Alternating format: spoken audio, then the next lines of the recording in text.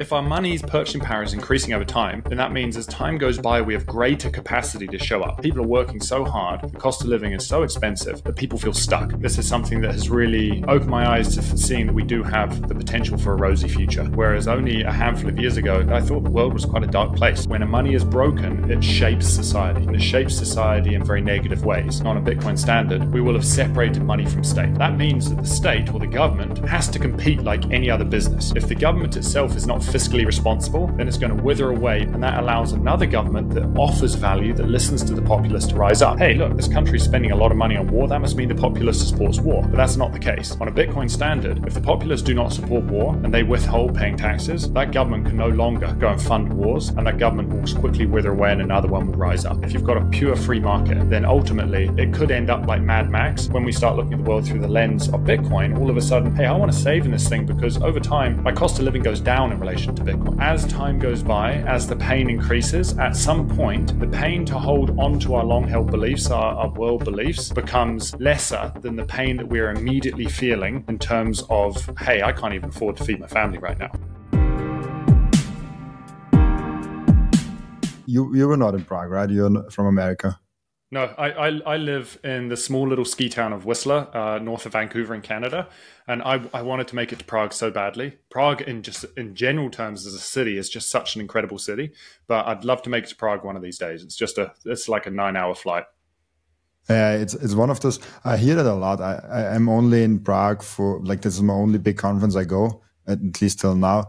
Uh, but the feedback I get is like it's one of the only conferences that's like really Bitcoin only. It's like the this this Bitcoin thing and not like oh there's also this this small shitcoin things in, in in the Bitcoin conference. So I like that, but I've not been to other Bitcoin conferences. I have uh, to say, we uh, earlier in the year I had the opportunity to go to Madeira for uh, Bitcoin Atlantis, and that was unbelievable. I've never been to uh, any of the Bitcoin Miami, any of the big big conferences, and so even just to be at Bitcoin uh, Atlantis in Madeira was such an incredible opportunity. And Andre, the guy who uh, kind of founded and kind of set up the whole event, did such a phenomenal job. Yeah, there's something there's something about just hanging out with Bitcoiners that is just so refreshing. I feel like the world at which we live in, unfortunately, people are very scared to voice their opinions. And when it comes to Bitcoiners, I feel like people have done a lot of work trying to formulate their opinions and they're open in their opinions. And so you can have these phenomenal conversations. And even if you disagree with someone, you're you're open to kind of pushing it back a little bit. You're open to having that kind of debate, but it's it's very friendly. And so I, I always value Bitcoiners. I also saw uh, that Bitcoiners are more likely to actually find common ground. I have this conversation, this this one example that I brought up a few times in the podcast where I sat at a Bitcoin conference or Bitcoin meetup actually, like there were like hundred people or something like that, and there was in front of me a vegan and a carnivore. Like the one, the one, the one was actually like, oh, I only want to eat meat. The other one was like a raw vegan, uh, so which was really interesting to see and the conversation was so loving and, and so respectful and they kind of agreed like oh fresh food is good make it uh, homemade food. Like they they try to find out like common ground and and this is kind of where, where, we might end up with a bitcoin standard because all of a sudden when when bitcoin is the global standard uh, which is a very very very long uh, way but when we have this global standard do you think also that like bitcoin could unite us or because there's also this this view like ah, bitcoin is just money in the end of the day it, it does not shit does not do shit for for society but uh, how do you see that I, I, I wholeheartedly agree. I think that what is so fascinating about Bitcoin is just in, in simplistic terms, if our money's purchasing power is increasing over time, then that means as time goes by, we have greater capacity to show up. And if we have greater capacity to show up, then we can more consciously think about the content we're consuming. And so I think that people are going to be a lot more aware of the content they're consuming and formulating their uh, their opinions. And not only that, I think that it makes for a world where people tend to align more on truth and at the same time people given that they've formulated their opinions and they they understand the research they've they've done they're also opening to have and they're open to having debates because they always say what is the famous saying it's like uh, truth is open to being questioned lies cannot and so i think many times when we formulate our opinions off mainstream media when we haven't done the research ourselves the moment someone questions our belief and we cannot really articulate it or explain it in the way that we want to be able to or to to the the ability to be able to really go deep, all of a sudden our ego arises and we start to shut down the conversation. And so I think that that's one of the challenges we find in society today is that people are working so hard, the cost of living is so expensive that people feel stuck. They can't necessarily go and spend as much time researching into the things they're passionate about to the extent that they may be able to on say a bitcoin standard.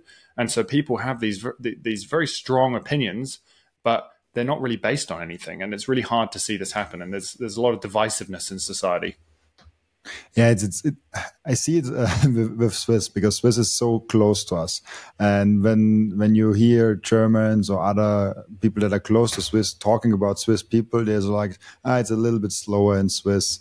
Uh, they're a little bit more um, relaxed and, and laid back in, in Swiss.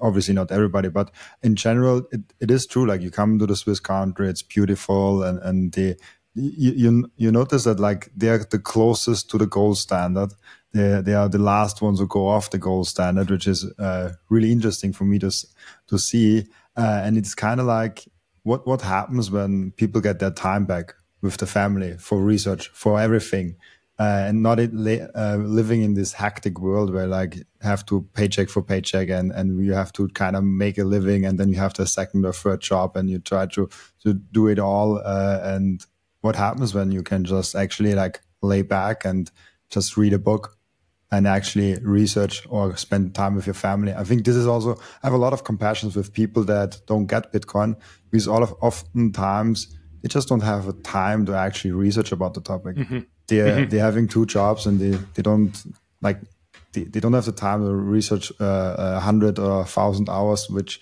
sometimes Bitcoiners say, ah, oh, you need at least hundred hours to understand Bitcoin, but they, most people don't have this time. It's, it's, it's interesting you bring that up because I think that the way I like to think th- to look at things is in, in psychology, you got Maslow's hierarchy of needs, and on the base of our this pyramid uh, of needs is our basic security needs. We need food and we need shelter, and it's very hard for us to start thinking about these upper needs, such as like compassion and altruism, or relationships, or even getting up to self actualization, spiritual beliefs if we do not have our base needs met, if we do not have our base needs met of, of food and shelter, then we kind of get stuck in this low level of just trying to fend for ourselves. And I think that when I look at Bitcoiners, it really has blown my worldview wide open because I think going into the pandemic, I was very scared. I felt like the world felt like a very dark place.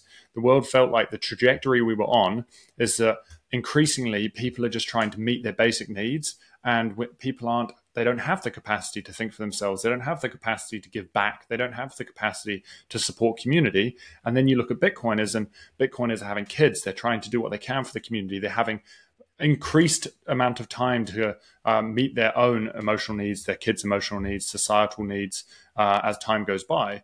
And I, I think this is something that has really opened my eyes to seeing that we do have the potential for a rosy future. Whereas only a handful of years ago I, I, thought the world was quite a dark place. And so I think that it's so cool to see this cohort of individuals that are coming together, but they're also seeing on a behavioral level that money is actually changing how they're showing up in the world, which is profound. Is, is that I think you have the book, uh, the, the Hidden Cost of Money? Uh, my first actual question for, for, the podcast would be today: uh, what what is the the hidden cost of money? And I guess there's like two answers to that. Like first is like your book and, and what is there, but like you get that asked a lot, I guess. What like what is the hidden cost of money? What are you describing in your book? For sure. So I ended up, I, I would say, and it, it, it's. I'm trying to just uh, figure out how far back do I want to go. I'll, I'll, I'll just start with the book. I ended up basically recognizing that uh, when I entered the Bitcoin space, and I would say I really went deep down the rabbit hole in 2020. I've been interested in Bitcoin and watching all the documentaries, you name it, but I hadn't really gone down the rabbit hole and grasped the significance of Bitcoin until about 2020. And so in the last kind of four to five years, it really has sunk in as to the importance of money. I think a lot of us see money as just this medium of exchange, this thing we exchange back and forth to be able to go buy groceries, to go buy a car, to be able to pay for our rent. But we don't think about what are the costs of money? If we have a money that doesn't meet societal needs, it doesn't meet the user's needs, what are the costs of this? And so going down this Bitcoin rabbit hole, I felt as if there were many books that described uh, the technical aspects. If you want to go and read Antonopoulos, if you wanted to go into the the philosophical, you can go read Breedlove. If the corporate, you've got Saylor, and you, you do have Saifedean's books, which I think start to touch on some of these subjects, but they approach it quite academically. And so I really like to try and speak to the layperson as to how money weaves its influence into all of these aspects of our society. So, how does it impact how I show up as an individual, my behavior? How does it impact the environment? How does it impact politics? How does it impact businesses? And so, ultimately, the whole goal of the hidden cost of money was to break down this thing called money to really show individuals that money is incredibly important in society.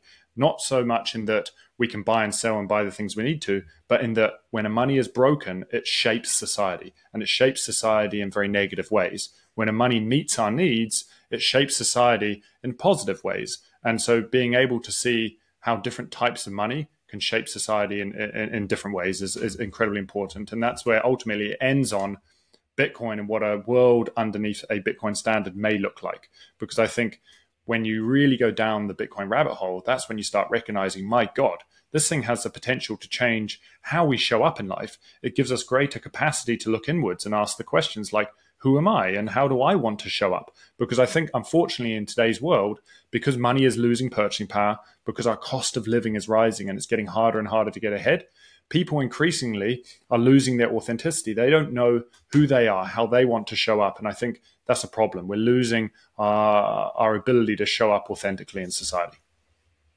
Does this uh, Bitcoin world, uh, in the end of the day, when everything is deflationary, we're getting better in producing stuff, and we have sound money that uh, kind of enables everything, uh, leads to a world where we have an abundant system, where we have like this, uh, we can actually build on top of what we already have built, and we can concentrate on on bigger things. I'm also thinking a lot about zombie companies right now. I feel like uh, this money printing enables a lot of um, empty companies that don't do actually a lot, or even in companies that do something. There's like 10% of people that actually do something, and 90% of people that are just there. And I saw that in the corporate world where I, I worked be, before that. Uh, how do you see, how do you see that? It's interesting because you can kind of look at it from two different perspectives. The way that I see it, the first perspective is, and and to your question, which is, um, do you see under a Bitcoin world kind of this abundance? And the first perspective is that I think, unfortunately, in our world today, because money is losing value, we are incentivized to consume, given that our purchasing power is greatest in this present moment. So we have this society where we have a very consumerist society, and you see it across social media. People are always trying to buy the next greatest thing, the newest iPhone, the the, the newest Nikes. They, they want to look, uh, they want to look the part. They want to fit in with society. They want to conform. And so the challenge is we have a society that unfortunately has shifted our view on what we believe happiness is. Happiness, we believe, is this external thing where if I go and purchase these things, if I go and purchase these shoes, if I go and get the nice car, then I'm going to be happy. But it's very fleeting. Unfortunately, when we go and purchase something, that's not happiness. Happiness is something when we contribute to society, when we challenge ourselves, when we connect with others, we build relationships. And so, what I think is interesting on a Bitcoin standard is that when our money is worth more over time, all of a sudden it shifts, and Bitcoiners will know this term, it shifts our time preference. It shifts our ability to start thinking long term. Given that our purchasing power is worth more in the future, we start to think about prosperity. We start to think about security. We start to think about the future. That gives us a greater capacity to think, okay, if I'm thinking about the future, how do I want to show up? And so what ends up happening, I believe, on a Bitcoin standard, is that when we talk about abundance, I think we have abundance in that we have greater time to meet our internal needs. And so we have greater abundance and happiness and joy, not because we're purchasing consumerist goods, but because we have greater capacity to contribute with society, to challenge ourselves, to build relationships. And that abundance and happiness is huge. And then, secondly, you can also look at it kind of from maybe how most people approach it, which is that unfortunately today, we've got so much inefficiency in society. When money is losing value over time, everyone is just trying to get what they can businesses are trying to get as much grants, they're trying to get subsidies, they're trying to basically just grow as quickly as possible against a system that's slowly imploding in on itself. And so I think that we have a lot of inefficiency, we have a lot of wastage.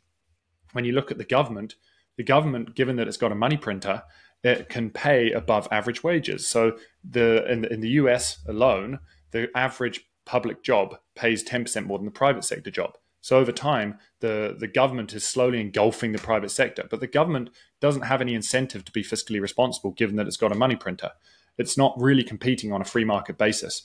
And so we've got this very inefficient, cumbersome system that is we don't really have abundance. It's getting harder and harder and harder to get by. We're seeing massive wealth inequality, house prices are skyrocketing, and because of this, people are struggling. Whereas I think on a Bitcoin standard, and as most Bitcoiners uh, would tend to agree, is that if we've got purchasing power that's increasing over time, we have greater capacity to show up and meet our own personal needs. But not only that, and this is something that I think is so incredibly uh, like like motivating, is that when we have a money that acts as a store of value, all of a sudden we're incentivized to save again. And if we're incentivized to save again, what's going to happen? Well, all of a sudden, money isn't just going to go flood into all of these other investment uh, uh, vehicles to try and escape debasement. It's not going to flood into real estate. It's not going to go and flood into uh, equities. It's not going to flood into the bond market. So we'd see trillions of dollars exit those traditional uh, asset types back into the currency, given that we can simply just save in the currency. And if we can simply just save in the currency, what ends up happening is our cost of living is cheaper, not only because of as technology advances, as efficiency increases, as productivity uh, increases, uh, we see costs fall, but also because at the moment house prices are elevated because people are just trying to flee the currency. If people are able to simply save in the currency, house prices would be a hell of a lot cheaper. And so I think that life becomes easier, life becomes more abundant simply because our cost of living, our uh, our ability to purchase things that allow us to thrive will be cheaper, and that that I think is an incredible future to live in. You mentioned uh, the government, and I'm a, a, lot thinking about that. What do you imagine the role of government or centralized organizations like a government? Uh, a lot of people, a lot of Bitcoiners here also like it could be optional, and but we have maybe a centralized organization where you can pay uh, them to make the streets, to make hospitals, whatever. Uh, but it's an optional service, and if you really want to go on the streets, then you have to pay for that. How do you see, like on a on a Bitcoin standard, uh, on on a sound money standards, the role of government? It's interesting. I think there's many Bitcoiners that look at this very differently. Uh, some of them are more anarcho-capitalists. They don't necessarily believe there is a role for government and that we don't need a government and that a free market has the ability to self-organize. And I think the free market has the ability to self organize to a certain extent, but I'm not so sure. I, I, tend to lean towards there is a role for government, but government right now is far too cumbersome, far too big. And given that government has a money printer, it can fund operations without support from the populace. And so I think the way that I envision it is that, first off, if we were living on a Bitcoin standard, we will have separated money from state. That means that the state or the government has to compete like any other business. If the government itself is not fiscally responsible, then it's going to wither away because it's not going to be able to service its debt obligations. It's not going to service its, its, its employee wages, you name it. And so it's going to quickly wither away. And that allows another government that offers value, that listens to the populace to rise up.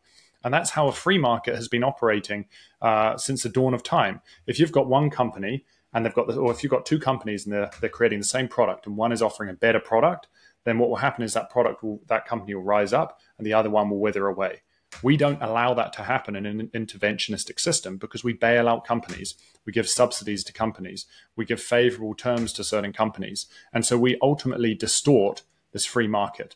And it's the same thing with government. When you have a money printer, that money printer allows the government, as I mentioned, to fund operations without support from the populace. So we find ourselves in these societies that unfortunately don't really meet the needs of the populace. So I think what will happen under a Bitcoin standard is that if a government is not being fiscally responsible, it has the potential to wither away. But not only that, if the populace do not agree with what the government is doing, if they were to simply just like withhold paying taxes, the government also cannot fund itself. And this is incredibly important. I think about it in terms of war.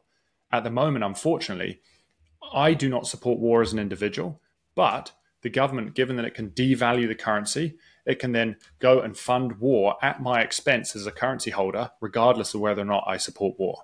And so, on the grand scheme of things, you look at a country and it says, hey, look, this country's spending a lot of money on war. That must mean the populace supports war. But that's not the case. On a Bitcoin standard, if the populace do not support war and they withhold paying taxes, that government can no longer go and fund wars, and that government will quickly wither away and another one will rise up. And so I think that it flips the incentives in society. Not only that, and I'll add one more point, which is with Bitcoin, it's the first time in history we've ever had what's called like a non-jurisdictionally uh, based asset, which I mean, it, which what that means is basically every other asset is either tangible, like real estate, it is physically located. That means that it can be seized quite easily, or it is digital. If you're holding cash in the bank, if you're holding equities, if you're holding bonds, they're digital, but they're held by a third party, which again means that the government can seize those assets quite easily. When it comes to Bitcoin, it is digital, but it's non-jurisdictionally based and we can take custody of that, that asset ourselves. So it's not really existing in any jurisdiction. It's just in the digital realm of things. And that means that value can now flow to where value is being created. If my government is not offering a favorable jurisdiction for me to live in, I can walk across a border stark naked with 12 to 24 words in my head and the government has no idea that I'm moving my value with me. And so, if money and, and value can effectively move to where value is being created, then it incentivizes value creation. It incentivizes governments. If they cannot seize that, that capital easily, well, then what do they have to do? They have to offer value. So they have to change the way they're approaching their populace. And that is profound. And we're seeing that already with, with countries like El Salvador. We're seeing that with countries that are adopting Bitcoin and showing a favorable jurisdiction because capital is flowing towards them. And I think in time, this will start to play a big role in how we see these larger nation states changing their behavior. Because if they can't take things by force, well, then they have to offer value.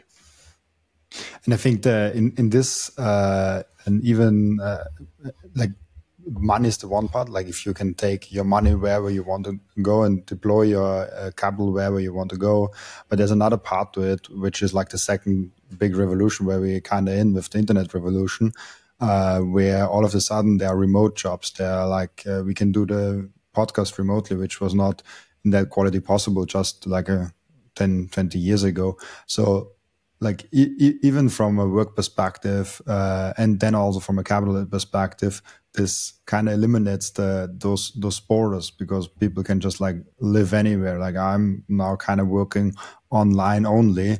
Uh, i'm doing a lot of physical stuff but all, all, the things i do in austria i can easily just start in any country where there are other, other bitcoiners. Uh, so that's like pretty easy for me to do and there are like major other examples of that is do you see a future where like those those those borders where we're like oh that's austria that's america uh, that's australia that's canada like the, those those borders are either getting bigger and, and to a bigger extent or like maybe like more localized or completely delimited this is a tough one, and I think it can go many different ways. Um, it's interesting. Last October, I went to Prospera in Honduras. And Prospera is a special economic zone. And for those that aren't familiar with a special economic zone, is basically you can think of it as a jurisdiction within inside, inside of like a host country. And so Prospera is inside of Honduras, but it has its own it can basically control its borders to a certain extent as long as it abides by the criminal code. And so it doesn't have to follow the same taxation profile as Honduras. It can kind of do what it wants inside its borders as long as it abides by the criminal code. And that gives it a lot of autonomy to basically create a favorable location to draw uh, entrepreneurs in. And it was amazing to go to Honduras because all of a sudden they are Bitcoin is their currency you can go to any of the shops inside of um, Prospera and you can pay with Bitcoin. But you're also seeing Prospera influence. It's on the island of Roatan, and you're also seeing Prospera inf- influence a lot of the surrounding area outside of um, Prospera.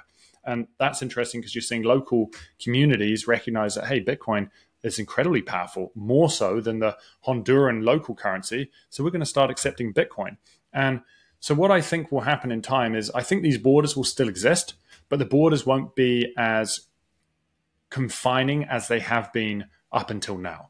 And I also think that you're going to see much smaller uh, localities and much smaller jurisdictions that have their own rules and regulations, whereby it's a more optional opt in system. And I think this is where you kind of get this mix of a um, anarcho capitalist with kind of a democratic state, whereby the anarcho capitalists believe that, uh, okay, if you've got a pure free market, then ultimately it could end up like Mad Max. So we're going to create these more favorable jurisdictions, but the jurisdictions have a set of rules. And so if you want to come into our jurisdictions, you've got to play by our rules. And so I think that that is the potential to happen. You have these small localities that say, look, if you want to come into our small little locality, live in our little location, well, then you're going to pay this amount of a fee in order to be able to maintain the roads, pay for police, pay for infrastructure, you name it. And at the same time, this is going to be uh, the rules and regulations within inside this jurisdiction. But it's an opt-in system as opposed to a uh, a system based upon force, which is our current taxation system. So it, it's a tough one because I think it can go many different ways. But I see the borders will be less controlled as they are now, whereas we're going to have a lot more of these smaller little jurisdictions inside of these larger host states. And I think uh, you you mentioned it. It needs rules to a certain extent. Like we, as as as as we're living in a society, we kind of like need um, um, to a certain extent rules. I, I try to com, uh, compare it always with, with, soccer because it's right now in, in uh, the the European Championship and everything. But uh, in in soccer, you also have like when someone steps out of the boundaries too much, uh, they get a fine. They maybe cannot uh, play anymore in the game. They maybe even get a fine, so they cannot play in like the following games. Uh, when they do something really rude or like really like in, endangering other players, uh, and to a certain extent, we we need those those kind of boundaries and and, and rules in, in society so that we don't end up in a mess and don't end up in a chaos the only question is like how do we uh, enforce those rules and how can we uh, make sure those rules uh, and and those control and this monopoly on, on, on violence that we then kind of agree on uh, is not um, how do you say um, obscured or like mm-hmm. I forgot the word of English like it's like when it does not get uh, uh, the, the wrong person is not getting to this power and then uh, getting to this power and, and uh, I forgot this English word. Sorry. no, don't worry. I, I, I, I, I, I grasp what you're trying to say, and I think that what is interesting is that rules are necessary, and I believe that unfortunately the world that we live in is is one in which people like to think of things in black and white. So you're either for intervention or you're against intervention and there's nothing in between. Whereas I think um, for the way I view things is that it's a spectrum. At the moment, we have way too much intervention. I think we can do with way less intervention, but zero intervention is also not necessarily possible. And I think that intervention is something that happens in our day to day lives. We're intervening in each other's lives. And so, what is intervention? And the way that I think about it sometimes on a grander scale is if you were to separate money from state, it's not as if the government cannot have a welfare state or it cannot intervene when we go into a recession. But what it does mean is that if the government wants to intervene, if we're going into a recession, what ends up happening is first it has to save before that recession. It has to be fiscally responsible. And then when we go through a tough time, it is limited in its capacity to intervene, given that it can only intervene up until the point at which it has saved capital to intervene. And that means that it limits the ability for the government to basically change the natural order of things. And so when I think about it in terms of what does the future look like on a Bitcoin standard, rules are good. Intervention on its own is is is not bad or good. It's just uh, what's the word? It's amoral. It's, it's not bad or good. It's just something. And so sometimes intervention can be good. Sometimes intervention can be bad. And so I think that in these smaller little jurisdictions, what will happen is it's not like our current system, as I mentioned, whereby if you do not pay taxes or you do not follow the rules, then you're going to be put in prison or you're going to face a hefty fine. Instead, under these jurisdictions, it's going to be an opt in system where, look, you can live in this jurisdiction as long as you follow the rules. If you don't follow the rules, then you can go live somewhere else. And so, given that it's opt in, it's optional, it abides more by this whole free market libertarian idea, which is that you do not force your beliefs on other people. You do not. Uh, interact you do not change someone's kind of trajectory based upon your will uh, it's optional and so i think that that is incredibly important to have an opt-in system as opposed to a system built upon force and seizure i mean uh, some make the argument even that we're already to a certain extent in this an opt-in system because i can go ahead and like now it needs capital it needs skill it needs uh, like the the barriers are still high but I can go out of Austria, I can live in El Salvador, I can, can live in, in America, I mean, America is, is, is interesting because when you go out of America, you have an exit tax and, and you, you get taxed all around the world, which I find uh, very frustrating, but I'm not American, so I don't care about that. but but uh, it's it's kind of already like an an, an, opt-in system. How do you like? What's uh, next? Like uh, like we already have like this kind of opt-in system. Uh, is this opt-in system then more in a digital realm where we like we can live in uh, Austria, but have different uh, nations that we can adopt to. Like the, I think Michael Anton Fischer, uh, the author of uh, Bitcoin Nations, uh, kind of had this uh, this vision written in his book where he like it doesn't matter where you live, you can like subscribe to your to your country of of will, or is that too much utopia? It's there's actually what is it the I think his name is Balaji. And he talks about the network state and how we're kind of trending towards, which I think he has read quite a bit about, and, and Tom Fisher, I believe, from my understanding, talks a lot about the network state and how, as the digital economy is advancing, we're kind of forming these communities not based on physical locale, but instead these digital locales. You could say the Bitcoin community, in a sense, is its own little nation. We have our own beliefs. And uh, it's interesting. I still very much think that we're still physical in nature I, I, think that we have got too far away from uh, the physical realm, and unfortunately, we have people in cities dictating what is deemed uh, good for the environment, what is deemed bad for the environment, yet they themselves are sitting on computers in the digital realm. And then farmers are being told they're not allowed to farm when they're the ones providing food for society. And so I lean more towards if I could not use social media, if I didn't have to use social media for the rest of my life, it wouldn't really phase me. Like I, I live in the mountains. I would love to spend more time on the land and more time in nature. And so I still very much believe that uh, we'll, we'll predominantly spend most of our life in the physical realm even though increasingly our cognitive capacity is spent in the digital realm. And because of that, I think physical borders are still going to exist for quite some time. Um, and then to your point, I think that we do live in a partially uh, optional environment. Partially optional in that the place at which we're born does have immense kind of control over our future and our, our ability to move. And so if I want to go move to another country, there's although it is optional to a certain extent, it's very hard for, for many people. It's very hard for them to leave their country. Uh, depending on which country you're born, if you're born in certain third world countries, it's nearly impossible for you to get visas and move into other countries. And even if you're living in a Western country, for you to move, it's very costly, it's very expensive. And so I think that Unfortunately, with the fiat system, it's allowed for these huge monopolies on control to take place. So you've got a, a government controlling a very large jurisdiction. Whereas I think in a more free market environment, the government will still exist and there will be some overarching rules set by the government. But I think we're going to have a lot more of these smaller jurisdictions within inside these bigger jurisdictions. So it gives us more optionality even within inside our country within Canada, I may be able to move uh, five hours north into a smaller jurisdiction, which is a community that very much more aligns with my values. And so I think that's the way that I see things in the future. But again, it's something that I haven't, I haven't gone deep down this rabbit hole. I wouldn't necessarily say it's my area of expertise. I spend a lot more time in the educational space, given that my background is I've been a mountain bike instructor, a backcountry mountain bike instructor, spending most of my time teaching for the last kind of 10 to 15 years. And I've absolutely loved helping people in their educational journey learn skills.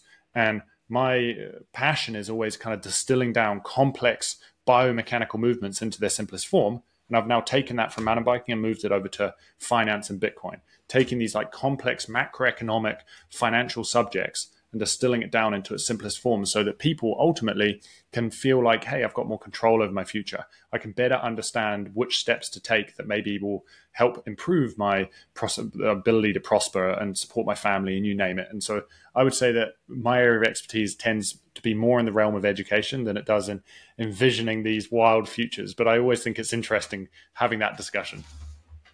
Uh, what instructor are you? Like, I didn't understand the word. Maybe I'm I'm lacking English skills here.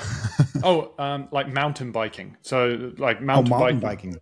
Mountain biking. Sorry, the accent. Cool. Uh, so like you you're teaching people how to uh, get get uh, downhill uh, from the mountain or uphill. Yeah. Yeah, I do. A, I do a mixture of uphill. And, well, I used to. I, I don't anymore. I haven't for quite some time. But I used to teach a mixture of in the where I live, Whistler, the little ski town that I live in, in the summertime, well, I should say little. It's it's a it's a world class resort. It's an incredible resort, and I feel so honored to live here. And um, in the summertime, it is the largest bike park in the world, and in the wintertime, it's one of the largest ski resorts in the world. And so I started teaching here when I was in, in my teenage years, and I just absolutely loved it. Like I, I, loved being able to support people and get them outdoors. I think that going back to that point about kind of the digital world versus the physical world, I think that the world is trending more and more towards this digital realm, but this digital realm is not making people happy. We've got highest rates of depression and anxiety, people having migraines, they're staring at screens, their eyesight is dropping off. When you bring people out into the physical world, you get them in nature. You get them in the forest. You see that uh, you see the animals and you get them moving their body uh, there's nothing that beats it. I, I, think it's one of the best things to do. Thank you. You already made it halfway through the video, and I'm really, really grateful to have you here. Two things make this channel possible. You, as a watcher and listener who keep supporting this channel, and another one is all the Bitcoin brands that I partner up with, like 21 Bitcoin, who support me from the very start and where I personally buy my Bitcoin from. With code Robin, you even get a discount when you buy Bitcoin with them. And now also Bitbox. Bitbox is the simplest and securest way to secure your Bitcoin. And I heard a crazy statistics. Only 2% of Bitcoiners hold their Bitcoin in a hardware wallet. How crazy is that? Don't be in that 98% bracket. Be in the 2% bracket. And if you have self-custody and you know your friend does not have, maybe he needs a Christmas present. Maybe he needs a birthday present. And a small life hack, if you use code Robin, you get 5% off your order plus you support my channel. And and now let's get back to the video. It's fascinating to see that so many Bitcoiners uh, that I also see, they're like, let's get out, let's have sun, let's have mountains, let's have uh, the ocean, let's have something in the physical world. And this is like this, this, this digital world almost incentivizes you to get out and, and, and do something. I sometimes think like uh, a lot of those advantages of, of having Bitcoin are coming now because we are in a really early special kind of a group. We are critical thinkers. We are early adopters. And uh, the, the 54th uh, percent of, of uh, the world that is adopting Bitcoin is will not have the same effects that the, the first like three, four percent have because it's like a, you're in a different kind of a group. And I think a lot of those complete life changing experience that, uh, that people have and even like reported here on the, on the podcast a lot, uh, come because all of a sudden they're, environment changes. They're like getting out of the normal environment, and all of a sudden they are coming to this Bitcoin meetups or this Bitcoin conferences, and they are changing uh, the people around each other. But even more than that, there is also the the monetary aspect where you all of a sudden you look out in the future because you have a sound money. It, it creates a solid foundation. I often make this example of like running in in the sand and mud uh, where it's like the fiat system where you like kind of drag down every time you make a step, but you still come forward. Uh, but on the other hand, there's a solid street where you can run uh, on like a Bitcoin standard. You still have to run like on a Bitcoin standard. You just like you cannot just like do nothing because it's this proof of work concept. You still have to run, and I love that uh, kind of example. And I'm I'm I'm really loving always the conversations like what is possible on on that solid street versus on the on the mud? Like what what more can can society do? Like what what else is the, like uh, are we uh, uh, civilizing other planets? Are we what what, what are what are we up to? Well and it's interesting you kind of bring up that point which is i think that unfortunately when our money doesn't act as a store of value everyone is constantly trying to flee the money to go and invest. And there's a big difference as i mentioned previously between saving and investing in a world where we are always striving to get more for less, as Jeff Booth always talks about, we live in this kind of deflationary world where prices should be falling. We're always striving to get more for less. And you can give so many examples. Like one that I always like to think about is like apples. If you think about an apple 200 years ago, to bring an apple to market, you would have to have some guy on his little farm hand kind of till the soil. Then he would have to plant the seeds, and then he would have to uh, protect his crop and let it grow. And then at the same time, he's also have to. He didn't have fertilizer. He didn't have any really heavy machinery. He would then have to go and hand pick all of this crop. He would then have to horse and cart all the way to the market, and then go and sell his apples. Now You've got greenhouses you can grow year round. You've got fertilizers. You've got genetically modified seeds to maximize crop growth. You've got all of this machinery to be able to remove the individual and to be able to harvest thousands of crop in very short amounts of time. And then you've got uh, you've got tankers. You've got uh, ships, you've got you name it to be able to move this, uh, move the apples to kind of the the end consumer. And what we should see is because of this obviously advancement in technology, prices should fall. But instead, over the last hundred years, Apple prices have gone up five thousand four hundred eighty percent. That's just mind blowing. That's not representing the reality of the world in which we live in. And so I think that um, the world we live in should be one where prices fall as technology advances, as productivity increases, as efficiency increases. And because we do not experience that because prices are rising because of monetary intervention, because of uh, monetary intervention causing inflation, we're now pushed into investing. And so by me being pushed into investing and we're unable to simply just save in the currency, well, all of this time and energy is spent on thinking about money all of this time and energy is spent on what can I do with my money in order to maximize my ability to make more money. And that that all of that time and energy, and we're talking about a whole industry, the whole financial sector is built around trying to make more money. In a free market, I would argue that it would barely exist because people would be able to just save in the currency. And if that whole uh, market did not exist, well, those people would be doing other things. They would be thinking about how do we add value to society? How do I create a business that offers value to society? How do I add, think about like ingenuity and innovation? What can I do in order to add value to society? And so I think that the world we would live in would be a much more prosperous world where we'd be benefiting. So much of our time is artificially spent on just trying to fricking invest, trying to protect our money. And that doesn't, it shouldn't matter. We should be able to simply save and benefit from human ingenuity, human advancement.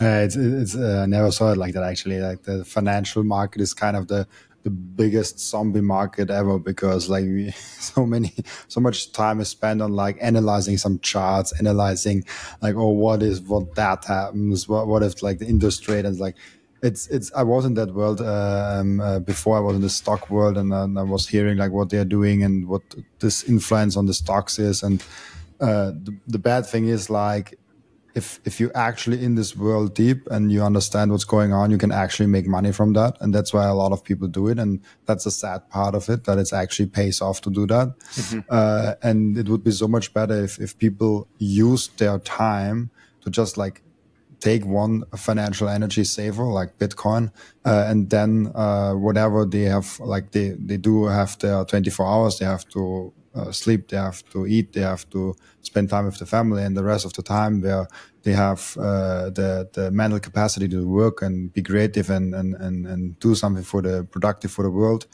When this is not spent on analyzing some weird lines on a computer, it would be really good. Like it, like this this would enable the society to really uh, come come a long way. And my question is always like, why do not more people get it? oh man, I wholeheartedly, and I think that unfortunately, it's one of those things where it's very hard for people to change their beliefs. And I, will give my mum, for example. Going into the pandemic, I think I started to explain to her how our monetary system is influencing all these other areas of society. And she was like, no, no, no, the, the current system's totally fine. Like the government has our best interests at heart. And then as you start to show them more and more evidence they would the walls would keep going up. And I feel lucky that my mom ended up coming out. I think it was in 2020, in like August of 2020, came out to Canada, and I just said, "Look, sit down with me for like two hours. I'm going to show you some charts, and if you still don't believe anything is happening, the monetary system isn't broken, then we can just we can we cannot talk about it." She was like, "Okay, fine, I'll sit down." And after that two hours, I showed her a few charts, and she was just like, "My God, this is mind blowing." And that shift allowed her to kind of break down these beliefs. Uh, and from that, she was able to start seeing the world more objectively. But I think for us as humans, unfortunately, we have an ego. And so when we formulate these beliefs and when we attach our ego to these beliefs and we think this is how the world works, it's very hard for us to shift. And that's where I think, unfortunately, uh, as they say in science, what is it? Science advances every time a uh, scientist dies or something like that. And it's, it's the same thing in, in, in in world beliefs. Unfortunately, it's the youngest generation that tend to adopt things much quicker because they haven't formulated these hard and fast rules of how the world works. They're able to look at the world more objectively. And so that's where I really admire when we see a baby boomer who is investing in Bitcoin. Or I was down in Vancouver only this weekend and there was a 77 year old. I was helping him take self custody of his Bitcoin. That is freaking amazing because these individuals have been in this world believing the world works a certain way and they've had to completely upend their belief of the world. And so it's, it's very hard for us to look at the world objectively. But I urge anyone listening to this to really step back and question if I'm getting upset about something, if someone says something to me and it's triggering me, that's not their problem. It's actually my problem. Why, why am I getting upset about this thing? What is it in my ego that is making me put a wall up and not necessarily question what this other person is saying? And so I think it's always important for us as individuals to be curious about the world. The moment we have a belief about something, the moment we defend, we're not being curious. And it's so important to be curious. And I think this trust in third parties and in, in the government in the states, it's still like first of all, like trust is always necessary. Like you're you're never only depending on you. You always depend on other people, on other third parties. Uh, but uh, you can take as much as you can to yourself and, in your self control. Like just taking your Bitcoin from the exchange to your self control and, and taking self custody of that. That's a big step that's a big step that you absolutely can do. Um, but there are still like hardware wallet providers involved in that. Like you have to trust them also. Um, I heard a crazy statistic at Bitcoin Prague. Uh, I think from the Trezor CEO, it was uh, coming the statistic that only 2% of Bitcoiners have hardware wallets. And I was like, in this uh, select early group of people that get Bitcoin, and most of them probably are in for the price appreciation and not for the freedom GOP technology. Otherwise, they would have a, a hardware wallet. But even of that small group of people that have Bitcoin, only 2% actually take the self custody, which for me is always like when you don't take the self custody and don't have a hardware wallet, uh, then you you're only in for for the price appreciation, uh, but not really for for the freedom GOP technology for for yourself. Uh, and then I'm like, even even in that select group, uh, m- most don't critical think uh, uh about the trust of third parties, and it's okay if, if you trust a third party. Uh, but uh, it, it's so easy to take self custody. It's not like with gold where you have like an Uh, you have to physically secure it, like stuff like that. And it's it's it's interesting for me to to, to look at that. It's you know what what comes to mind as you're saying that is that unfortunately, the world at which we live in is one where the fiat system plays such a huge, as we've been discussing, such a, a, huge role in how we show up in the world. And unfortunately, I think there are many Bitcoiners out there that still look at the world through the lens of fiat. They're still buying Bitcoin in the hopes that Bitcoin goes up so that they can sell Bitcoin back into the fiat world to slightly ease their life. And it's a very fiat mentality. It's, it's what can I do to be able to prevent my savings being debased well, I'm just going to invest in Bitcoin so it can go up so I can sell it again to kind of support my life. And it's a, it's a fiat way of looking at Bitcoin. Whereas I think that when we go down the rabbit hole, what I truly admire is when people start thinking in Bitcoin, when people start looking at the world through the lens of Bitcoin instead of looking at the world through the lens of fiat.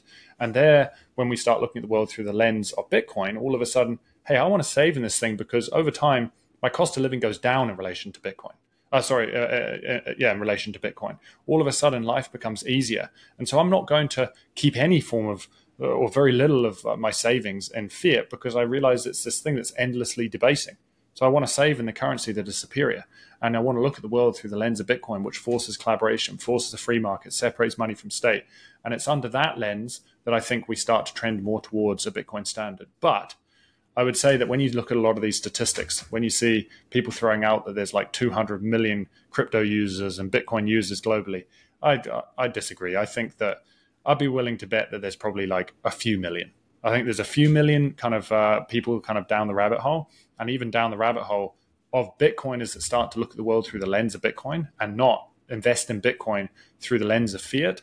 I think there's only 10 to 10 to 50,000 I think there's very, very, very few. And I think when it comes to custody, kind of to your point, I think that the, the, the thing that makes me feel a little nervous about the future, but we're, we're quickly changing that, is that custody is intimidating. And I think that when we're so used to having a financial system whereby we can pop down to the bank, we can set up a bank account uh, relatively easy, we don't have to have any technical expertise. Um, we can then deposit funds into the bank account. We can use it relatively effortlessly. And as long as you're an abiding, law abiding citizen that sticks within the rules, it doesn't seem like there's any real friction as to using the traditional system.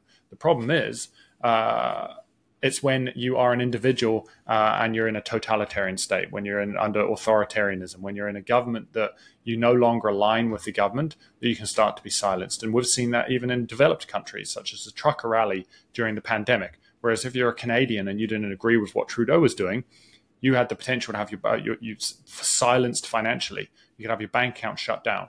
And so I think that Bitcoin – kind of to the custody point of view, the, the challenge right now is that we've got this this system, the fiat system, that's very easy. It's all built around user experience. We've got this Bitcoin system, which you can take custody. It's not overly complex, but the reality is that it's still quite complex. And I think for the average individual, it's a little too complex for the average individual to take custody in a way that they can feel comfortable and sleep well at night, especially if you live in an apartment, you live with roommates.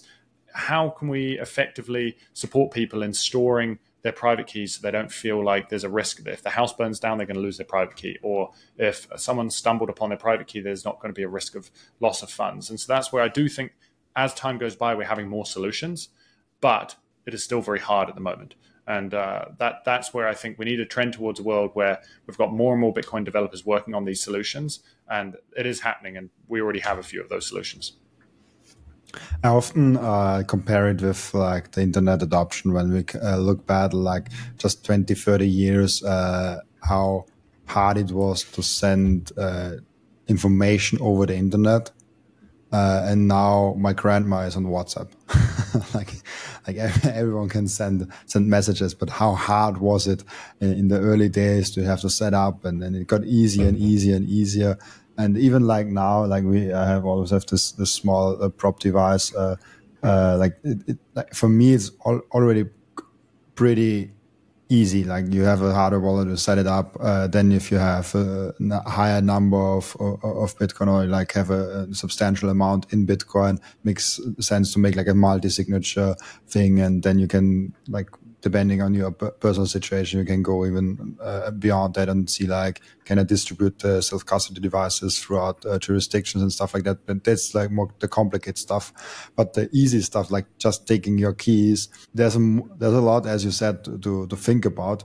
Uh, and there's a lot of technology coming. Like uh, I interviewed uh, Saylor on, on in, in Bitcoin Prague, and, and, and, he talked about like what happens if Apple all of a sudden encounters Bitcoin, and he said like they uh, want their customers to have the Bitcoin on their devices. They can make chips uh, on, on their iPhones, and then all of a sudden, uh, you can sign a Bitcoin transaction holding your iPhone to your Apple Watch, and then you have your multi-signature thing. I, it's like I would not recommend that. I, I don't know if Apple ever does that. Uh, I would still recommend having your offline devices, but it's interesting. Like uh, in in the early days of the internet, I heard that uh, people said everyone will have their own email servers and now everything is running on Gmail. Like, the, it, it, will be interesting how how this whole uh, scaling of Bitcoin and and how how do we onboard actually really a lot of people? Because to your mm-hmm. point, I also think that there are not a lot of people in Bitcoin. I since one and a half years, I have a, a Twitter list with Bitcoiners in there. Uh, granted, they are just English Bitcoiners and some German ones, but uh, mostly only English people. And I have a, a Bitcoin list with uh, uh, people that regularly tweet about Bitcoin. And I just have this list. Uh, and I started last year with like 200 Bitcoiners in there, and now they're like 400 in there or something like that, maximum 500. And I'm like, I have really a hard time finding more people for that list.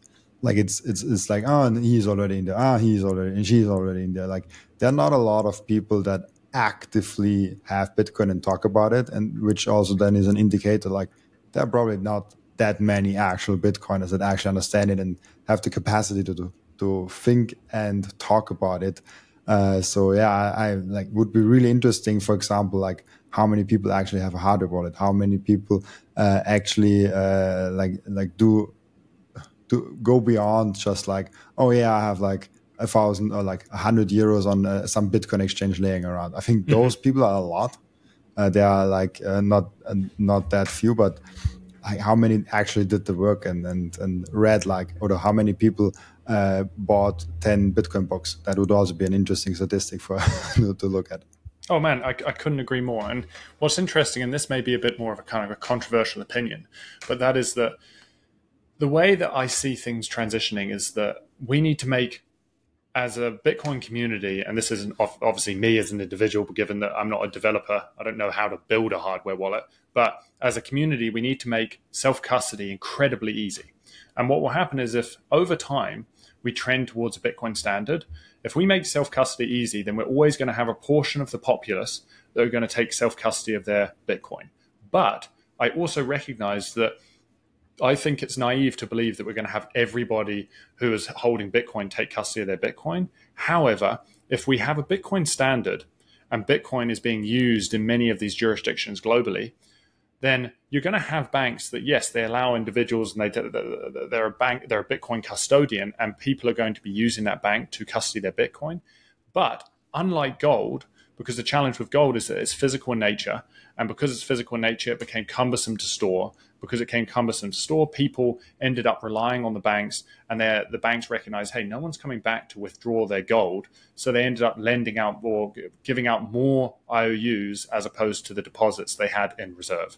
And with Bitcoin, if we have an easy way for people to take custody of their Bitcoin, then all of a sudden that disincentivizes banks to fractionalize the amount of IOUs in relation to their reserves. And if they do so, oh, alarm going off. If they do so, you end up with a whole FTX situation where FTX, I think, had something like 1.2 Bitcoin backing 1.6 billion dollars in reserves. Uh, sorry, a billion dollars in liabilities. And so, under that situation, they were just like, well, people aren't coming back to withdraw their Bitcoin. Well, people recognized, hey, we don't think, we don't believe you have our reserves. So, we're going to withdraw our Bitcoin. And all of a sudden, they couldn't facilitate that and they went under. And so, I think that if we were to transition to a, a Bitcoin standard, what I do believe is that if Bitcoin, as long as it is easy enough to take custody, then you're always going to get a portion that take custody. But because of that portion that takes custody, the banks have an obligation or they have an incentive not to fractionalize. And so there's still going to be a large portion of people using custodial systems. I wouldn't recommend that now. I don't think we're there yet. I think that the, the, current system is takes advantage of individuals, takes advantage of deposits, uh, rehypothecates, fractionalizes, you name it. And I think that's also one of the reasons why we're also seeing the suppression of price right now.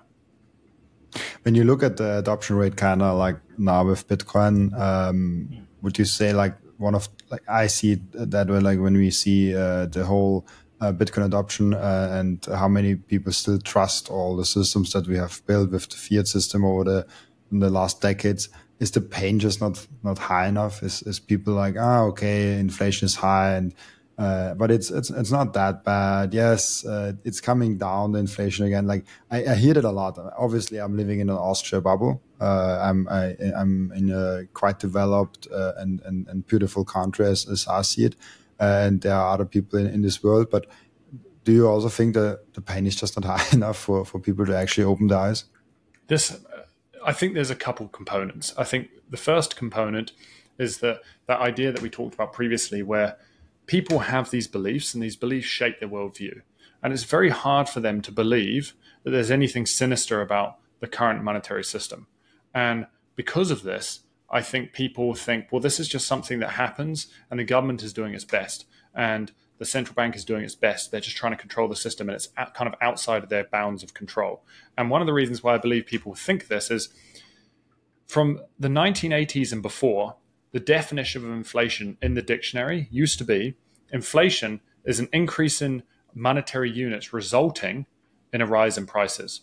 Then the government changed the definition of inflation in 1980 onwards to inflation is a rise in prices. So, what that allows the government to do is to come out and say, right now, our number one beast that we're trying to fight is inflation. When in reality, they're the ones who are causing inflation. They're increasing the monetary units, resulting in a rise in prices. And so this is when you see people like Biden get massive support across the whole nation supporting the Inflation Reduction Act, where they go and print trillions of dollars. That's completely nonsensical. How do you print money to reduce inflation? It, it, doesn't work. And so I think that unfortunately our world has bought into this idea that inflation is this beast that we need to fight, not recognizing that it is the government that is creating inflation. And on top of that, it's very hard for people to see outside of the system at which they are in. And I think that's where, as Bitcoin, is we recognize that uh, our current monetary system, the fiat monetary system, is just one option. There are other options, such as Bitcoin. Whereas to the average individual, they can't see any of that. They just think that money is the way that it is. We just have to deal with it. And so I think that as time goes by, as the pain increases, at some point, the pain to hold on to our long held beliefs, our, our world beliefs, becomes lesser than the pain that we're immediately feeling in terms of, hey, I can't even afford to feed my family right now. And that's where we see countries like Argentina and people start to, you know what, I'm not going to vote for the socialist government. I'm going to vote right because these governments have been promising for so long that they're going to intervene, they're going to support us, they're going to, the economy is going to be great, the future is going to be bright. And I feel like it's the opposite. Life is getting harder and harder and harder. So we're starting to see that. But I think that we're still quite a ways off, given that if you look at Argentina, they've annualized, I think, 60% inflation over the last 50, 60 years. Western countries have annualized 2 to 3% inflation, even though I think that number is far higher. But let's just take CPI. They've annualized 2 to 3% inflation over the last quite a while. So we've got very different inflation numbers to something like Argentina, and Argentina has just flipped. And we should not forget, uh, I think Jeff Booth makes a wonderful work in that, that we have a massive force of deflation, like a massive deflationary force with the advancement in technology, with advancement in AI and advancement with robotics and everything like that. This, this drives actually prices down a lot. Uh, so like this inflation rate of like, oh, we have now like 5% higher uh, prices. First of all, like they manipulate what comes in that basket, and then this basket is actually drawn down by by technical advancements. So like, uh, it's it's uh, it would be interesting. Like uh, without that. Uh, massive deflationary force, we would have inflation rates of 40, 50%. We would actually the inflation rate of the uh, monetary expansion. And this is, this is a thing where I, I, never heard that with the that the change the definition of inflation from like uh, it's about the price, not about uh, in, inflating the the units. Uh, really interesting to see. Yeah, it's, you know what? It's this point you mentioned about Jeff. I listened to a talk with Jeff. I think it was on what Bitcoin did. This was probably three years ago. And it was one of those really like aha moments. I'd read The Price of Tomorrow previously, but this is just one of those moments that really clicked. And he was saying that when we think about inflation and we see the CPI of, say, 2 3%, what we're forgetting is that we're not measuring from the zero bound. If inflation is minus 5, minus 10% year over year over year because of advancements in technology, then if we've got inflation of 3%, but it's actually meant to be minus 10, then it's actually 13%. And so I think that many of us look at it and think, well, inflation of 3%, that's from the zero bound. No, because prices should, as you say, they should be falling. And the other point is that when you really start digging into CPI, you just realize how manipulated it is. You look at things like hedonic adjustments. A Honda Civic over the last, I think, 30 years through CPI has stayed exactly the same price. But the reason why they can get around saying it stayed exactly the same price when actually the car has gone from probably 5,000 to 15,000 to 30,000 is because each time you have a new model released, there's slight little changes to it. There's a little bit of technological advancement. And they say, well, if, if last year it was 27,000 and this year it's 30,000, well, because you now get uh, an upgraded sat nav system, that accounts for that extra 3,000. So the actual inflation, when you take into account technological advancement, is zero. And so this is how they say, well, prices have not risen. And then the other thing that I think people don't quite understand is that because um, inflation is a basket of goods, if those individuals in society are going and buying grass fed beef and they're able to afford grass fed beef. But then all of a sudden prices start to rise and they can't quite afford grass fed beef anymore. So then they go and buy the impossible soy burger instead. So they transition from grass fed beef to the impossible soy burger, which is far cheaper. What ends up happening is the basket changes because they're saying consumer preferences are changing. No, consumer preferences aren't changing. It's because they can't afford grass fed beef. So what ends up happening is that the basket doesn't um, it doesn't indicate a rise in prices because they're just saying consumer preferences are changing. And so we never see the rise in prices of people transitioning from one product to another because they can't afford the old product. And so CPI inflation is is so misleading. It is far, far, far higher. If you look at, I'm just trying to remember, there is I can't quite remember the name of the site. There's a website that looks at some of the old ways they used to measure CPI. And if you go and look at CPI from the 1970s and use that same basket of goods today, inflation is sitting in the high teens or low 20s. Is there metrics that you that you look at uh, that the most accurately uh, describes uh, the inflation rate right now? it's it's challenging because inflation in general is a misnomer. Inflation is unique to the individual person. What I spend my money on is different to what you spend your money on. And so for me, I like mountain biking, I like the outdoors, and I want to try and buy a small little farmstead in the future if Bitcoin does its thing. I want to buy a small little farmstead. Whereas for you, you probably look at different things. And so inflation is unique to the individual. And so as a society, when we try to uh, come together and say inflation is this value, it's a useless metric, and um, unfortunately, that useless metric is is is governing how we direct central planning. It's how we direct the, the freaking the central banks, the government, and so I think that it is something that under a free market it doesn't exist. It only exists under central planning. But to your point, there is that website, and I can always find it and send it to you, and you can put it in the show notes. There is a website, and I've completely blanked on the name of it, um, that looks at CPI through traditional ways of measuring. And what you recognize as CPI is a hell of a lot higher. They just constantly adjust CPI in order to minimize the inflation rate or the perceived inflation rate. I only know about Truflation. I don't know if you mean that, but probably it's something else. I think it's something else. Uh, definitely. It, it's always interesting for me when you look at inflation. And obviously, it's it's different. Like when when you when you live in someone's basement, you don't have to pay rent. Uh, you, you only watch Netflix, and, and, and that's all what you're doing. Uh, your inflation, like you don't care about inflation. the subscription uh, cost of Netflix will not go up uh, uh, too much.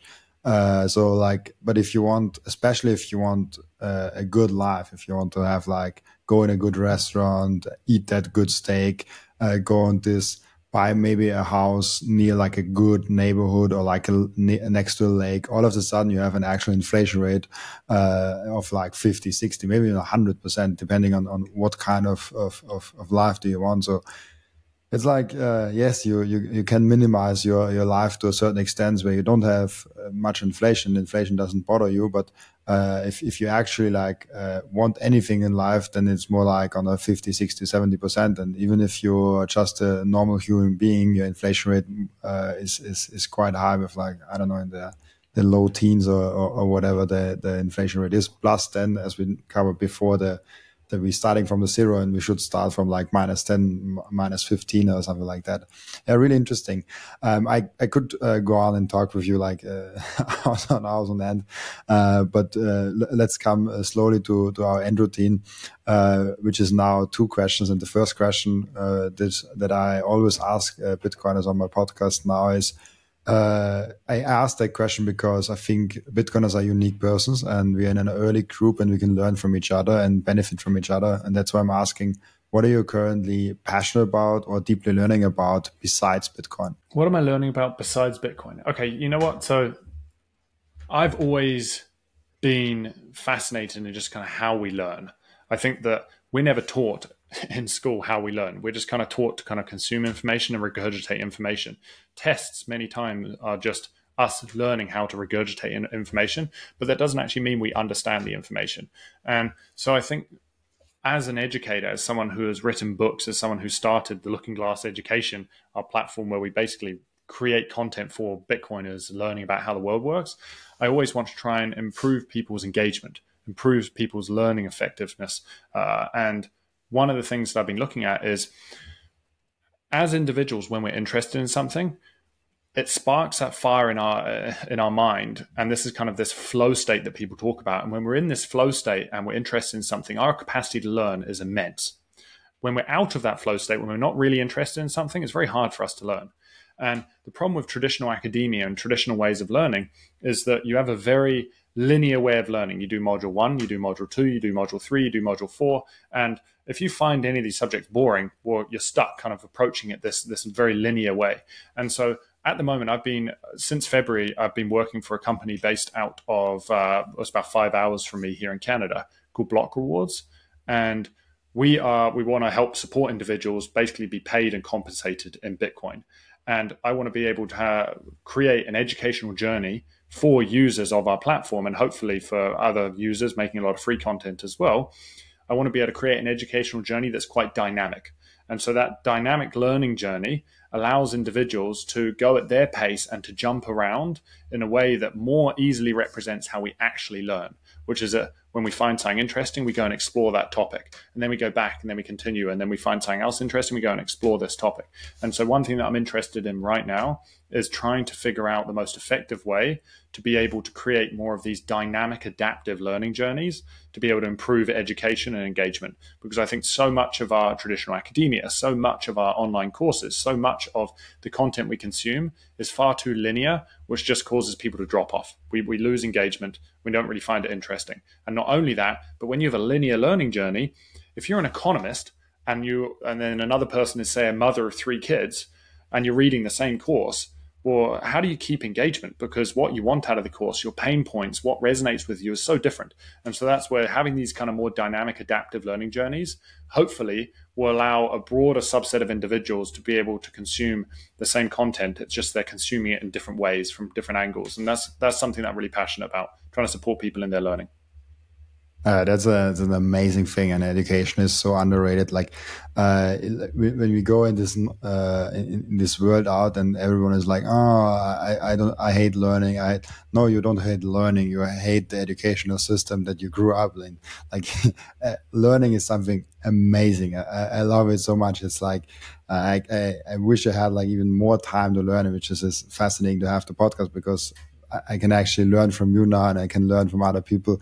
And that's, that's, that's a great thing. Like learning is the, the most rewarding thing you can do in, in, in this world. I, I highly appreciate that you, you brought up this topic and, and, uh, and I highly, I, and also agree a lot with that.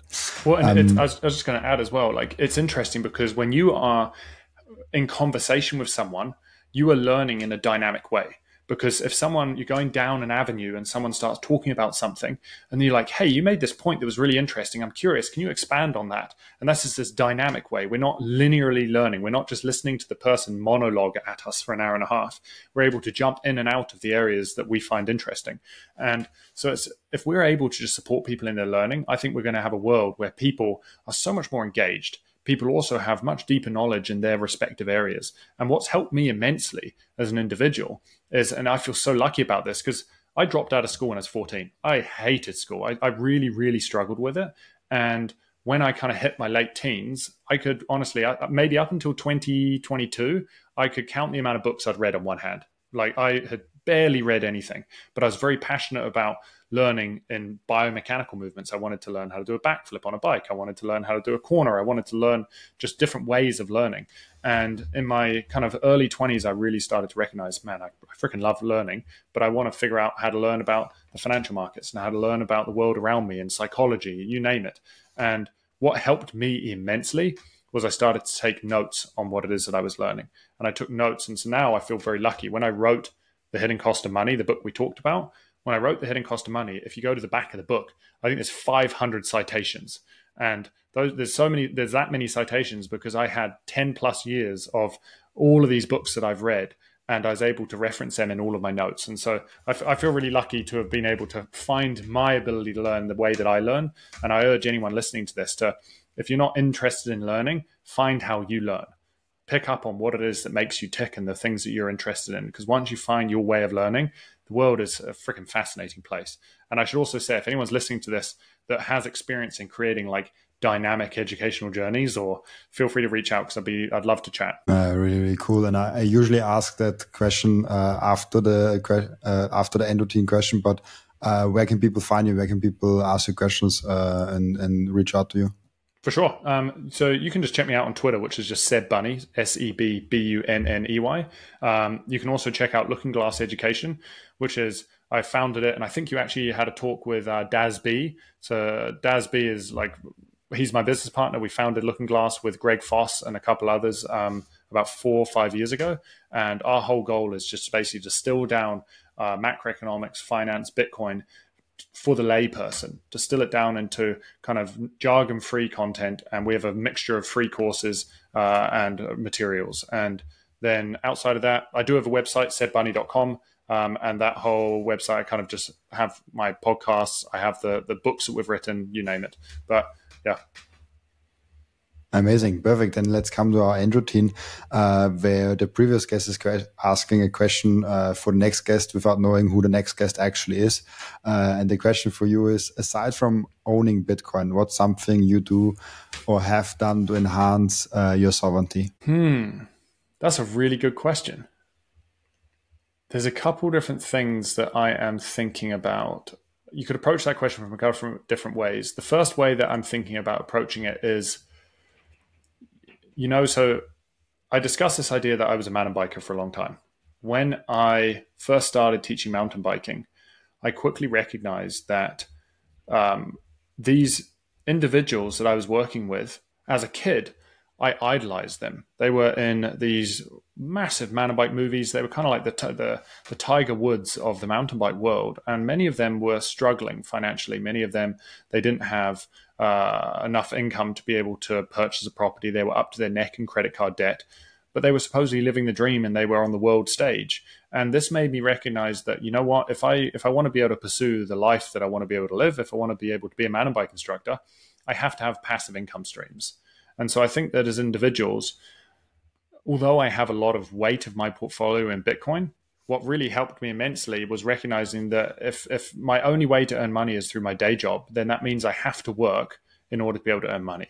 And so I ended up um, investing in real estate, and it's obviously a lot harder these days given the the cost of real estate. But I feel so lucky that I ended up investing in real estate when I was younger. I, I think purchased my first place when I was 19, and having those passive income streams allowed me to be able to pursue things that actually motivated me, given that I didn't have to expend time and energy to be able to just earn money and earn a paycheck. And so I urge anyone to be able to think about how do you create passive income streams?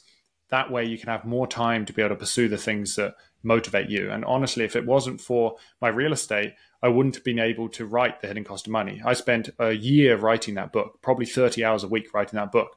And as, as you guys probably know, when you're writing a book, you're not getting paid to write a book. And uh, to be honest, even writing a book is not a massive monetary endeavor. I, I, wrote it because I wanted to give something back to the community and to share my opinions. And so, being able to have passive income streams is something that's very important to me. Um, and the challenge now that I find is okay, if I have real estate and Bitcoin, well, I'd rather have Bitcoin, but Bitcoin doesn't provide a passive passive uh, income stream. So now I've sold most of my real estate and rolled it into Bitcoin. But I still think that if, if you have the potential to build passive income streams, whether it's through real estate, whether it's through business, that's that's incredibly important.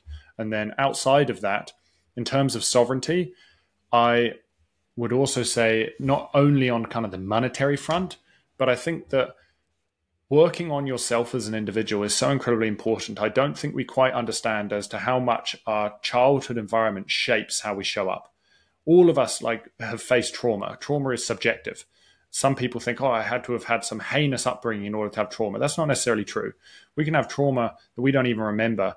Uh, if we'd never injured ourselves and at the age of 10 years old we roll our ankle, that in itself could be traumatic. And so I think that doing personal work on ourselves, understanding how we are showing up in the world, understanding our own emotional triggers, our relationships with our parents, gives us more sovereignty over our ability to show up whole, wholeheartedly and authentically and not responding from the past. And so I really urge anyone, if you want to grow in this world, to build our relationship with ourselves, build our relationship with our inner child, build our relationship with our parents, and uh, and and I think that that helps us show up more authentically uh, without responding from the past, which many of us are stuck kind of responding from trauma, responding from the past.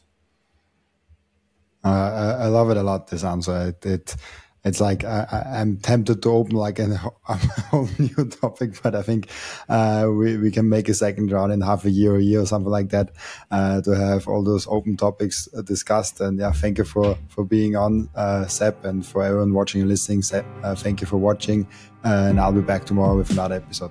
Bye. Thanks, Cameron. I really appreciate it.